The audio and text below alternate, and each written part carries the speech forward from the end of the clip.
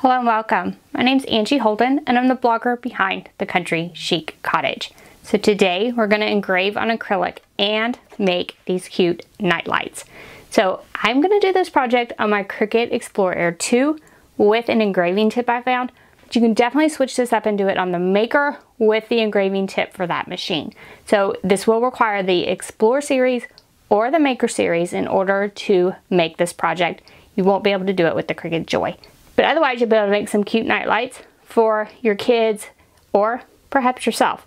So we'll link to everything I'm using below because I did take some time, research some nightlight options as well as some acrylic options in order to make this project perfect for your Cricut machine. So let's take a look at the supplies we're gonna use and then make some engraved nightlights. You're gonna need the following supplies. Engraving tip for the Explorer machine. I will link to this below. However, if you have a maker, you can definitely use the engraving tip for that and your maker machine. Then you'll need your acrylic blanks. You'll need two per nightlight, and I will show you why later. Strong grip transfer tape, strong grip mat, and then the nightlight itself. So these are super cute and come with like a little remote to change colors and everything. You definitely don't have to get this fancy, but I will link to the one that I purchased below. So I'm gonna do two different shapes. You can pick one shape, there's more shapes than this. Whatever shape you would like will work with these same techniques. So let's head to Design Space and take a look at the designs we're gonna use for this project. So here are the three designs that I'm gonna make as examples. So first of all, because I'm using an Explorer, I need these to be cut lines. If I was using a maker, I could definitely make them engraved lines, but we're kind of tricking the Explorer machine, so I do need them to be cut lines. So for this design and the Spider-Man design, I just sized it to where it would fit on the blanks I have planned to use. Now, the dinosaur, I don't want the whole thing on the blank. So I drew a circle that is approximately the size of my blank. It was kind of hard to determine the size on these. And then I'm going to pick both the dinosaur and the circle and click slice. Then I'm going to get rid of everything I don't need. So everything it's sliced away, just get rid of that. And what you're left with is a cut piece. And then I want to make sure that all of these are the same color. So now all of these are the black color and everything is a cut line. So now I can click make it. So on this screen, what I want to do is definitely mirror my design. All right, so I actually went back out and changed all my designs to blue so I could see them a little bit better on this screen. And then we want to mirror these designs, and that's because I want to engrave on the back of the acrylic for this one. And then for each of these, we're gonna move them to the location wherever we put our blank on the mat. So wherever I put the blank on the mat, I will move this over into that location in order for it to engrave, or it thinks it's cutting in this case, in the correct location. So let's go ahead and take a look at locating our blanks on the mat, and I will move these pieces according to where I put my pieces on my mat.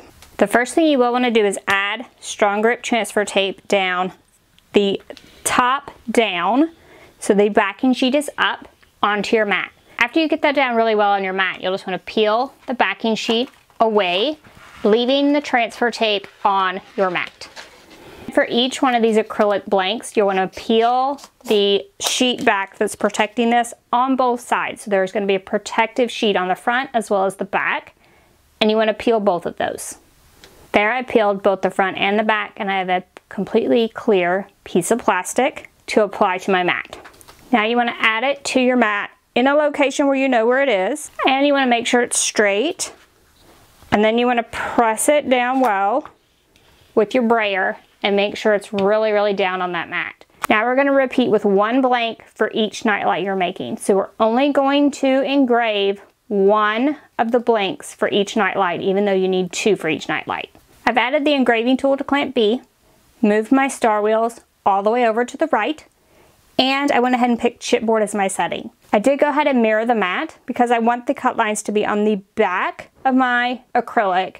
I am using the chipboard setting and now I'm going to load my mat. Then we'll press the go button to remember it thinks it's cutting, but actually we have the engraving tip in Clamp B.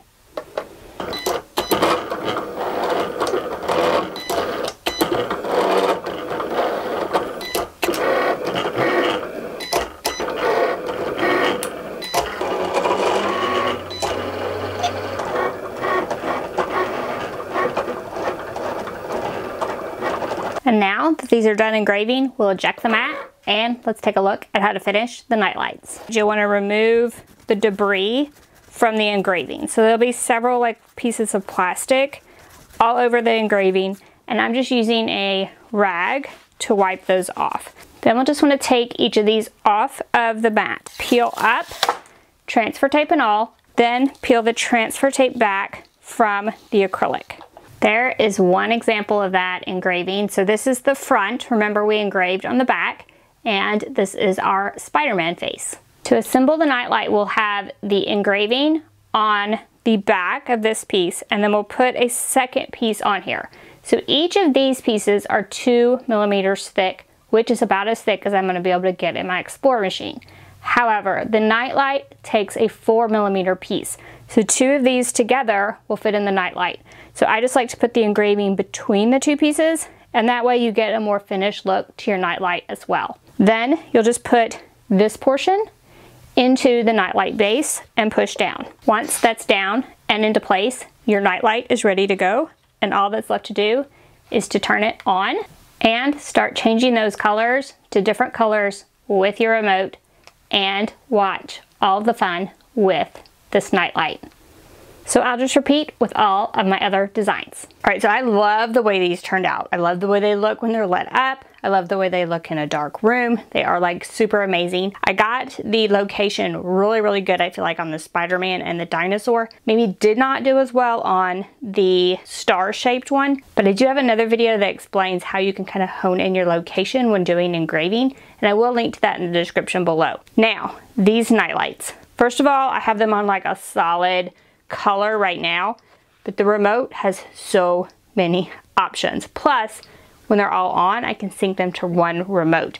Then you can do like strobe, flash, so you can like have it cycle between all the colors and it has so many different colors options that you can choose from either on the remote or there is a button on the front of each of the night lights that you can use to change the color.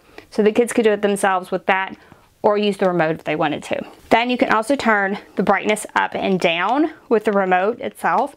So tons of different options with the remote as well as the night lights.